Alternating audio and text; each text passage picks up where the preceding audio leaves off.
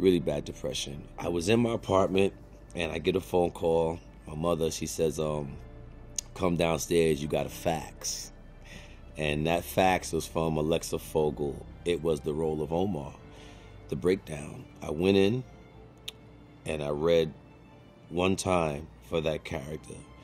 She sent the tapes in to David Simon and Nina Noble and Ed Burns. Next thing I knew, I was being called to report to Baltimore um, for work. During the process of, of making the Wire, I was so excited. You know, I was just so happy to have a job. I felt like my dreams were coming true. And I was really excited to be amongst what I considered greatness. Uh, Wendell Pierce, Sonja Sohn, Wood Wood Harris, like they was already doing it, you know. Um, you know, J.D. Williams, these are people I, I was just watching on television. So I was happy, and um, we had season one in the can, and I just knew that this was a black thing. Like, you know, we made it. We got a good black TV show, and we coming back next year. And then here come David Simon with his beautiful, crazy, twisted mind, and he threw us into um, season two. And I remember going to him saying, you know, so so why is it that every time black people make something hot, you take it and then you're gonna turn this into a white show? What what's what's up with that?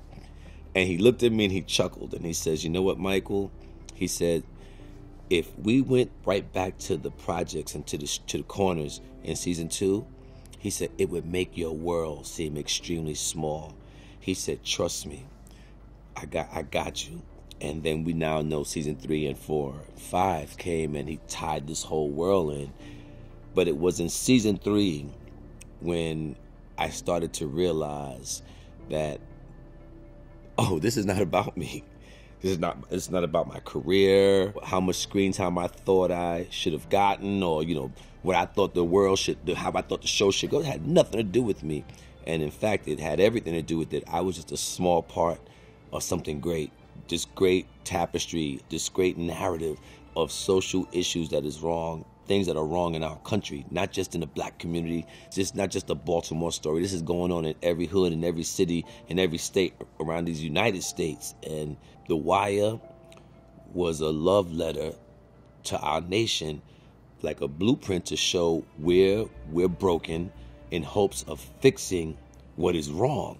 You know, I started looking at the way people, and particularly in my community, would come and it wasn't just oh, that TV show was fly, or you on that dope TV show.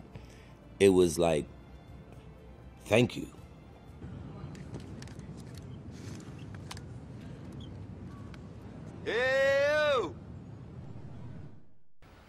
How many guns do you have?